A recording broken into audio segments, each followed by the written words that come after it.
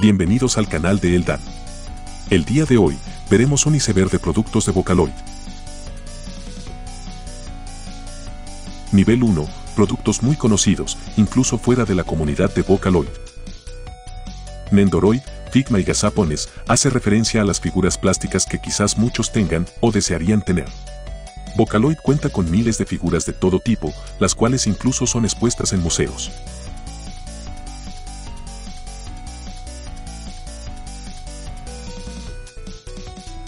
Snow y Sakura Miku son dos versiones de Miku muy conocidas que todos los años tienen una edición. A su vez, Snow Miku tiene una expo y concierto que se celebra cada año.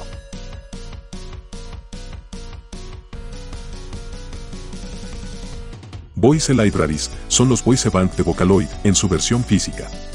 Estos son CDs que dentro contienen las voces de los diferentes Vocaloid.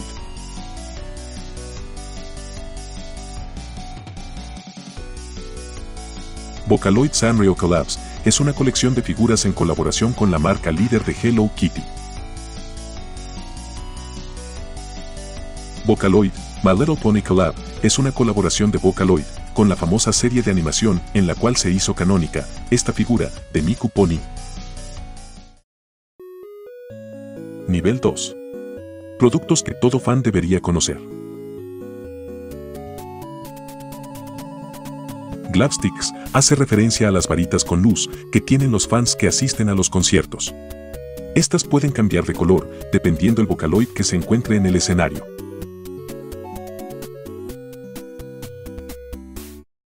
Miku Tamatone es un instrumento musical con forma de nota que se volvió muy popular hace unos años en Internet. La empresa creadora de estos sacó una versión inspirada en la cantante virtual. Godsmau Racing Cars son un team de autos de carrera japoneses que sponsorean su marca cada año con Miku. Los autos están completamente proteados con la Idol virtual, la cual recibe una vestimenta distinta cada año, mejor conocida como Racing Miku. Vocaloid Oficial Navels y Mangas son una serie de historias oficiales hechas por diversos autores. Aquí podrás encontrar desde cómics hasta novelas ligeras, las cuales tienen relación con diversas canciones. BJDs son una serie de muñecos realistas, de gran tamaño, totalmente articulados. Dentro de esta categoría, también podríamos incluir a las Pujip, de las cuales también hay productos oficiales de Vocaloid. Nivel 3. Productos para aficionados. Miku Banana Tropical Door es un raro peluche, del cual la gente en internet no conoce el origen, por lo cual de seguro se trate de un bootleg.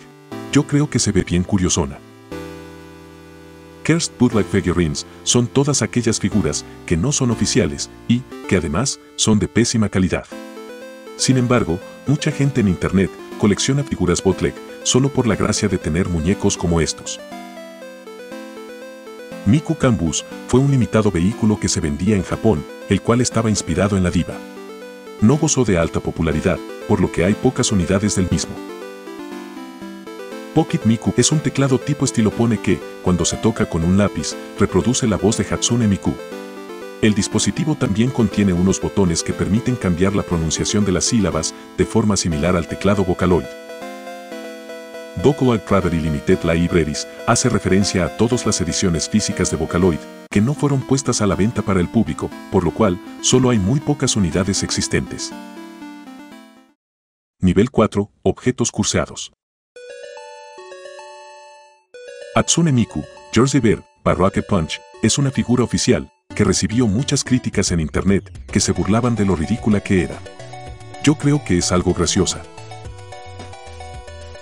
World Miku es una pulsera que se conecta a realidad virtual y le permite al usuario tener su propia Miku en su muñeca.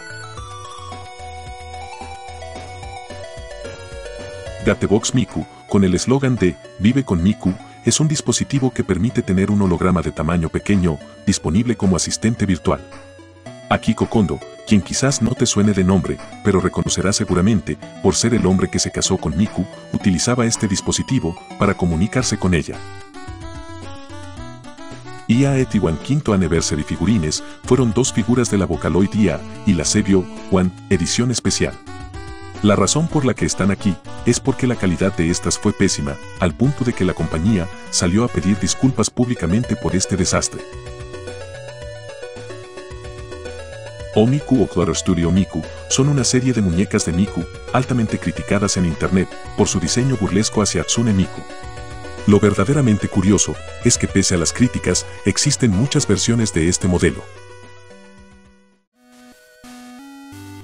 Nivel 5. Rarezas.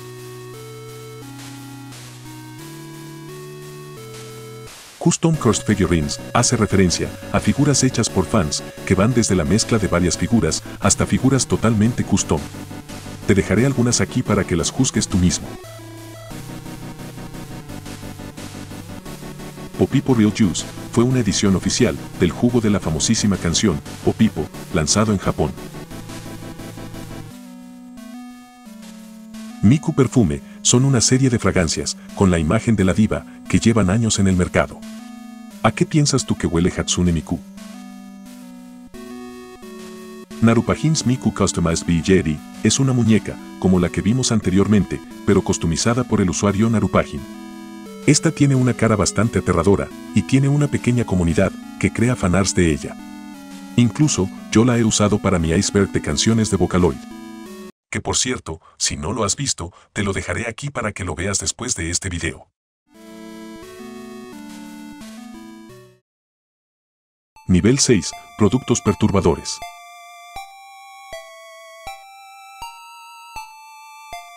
Pixeloid Playboy Official Miku Collab es una revista en colaboración de Playboy con Hatsune Miku en la cual la diva posa con una modelo de Playboy real.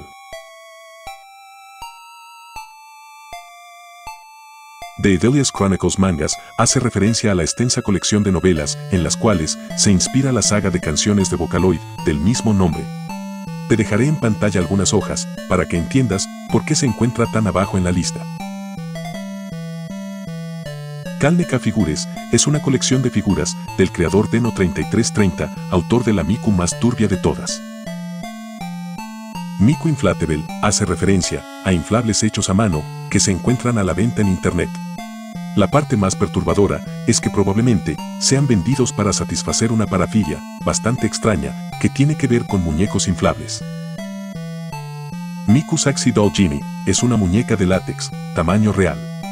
No voy a decirte para qué se usa, así que solo ve las fotos y dedúcelo por ti mismo. Kiko's Manga hace referencia al manga del conocido autor de canciones de Vocaloid, Kiko. Si bien este manga no está relacionado directamente con Vocaloid, ciertamente era muy perturbador como para dejarlo pasar. No voy a contarte mucho de qué trata, pero solo te diré que hay niños, y no precisamente, jugando a las muñecas. Es fácil conseguirlo por internet, pero te recomiendo suma discreción si vas a leerlo.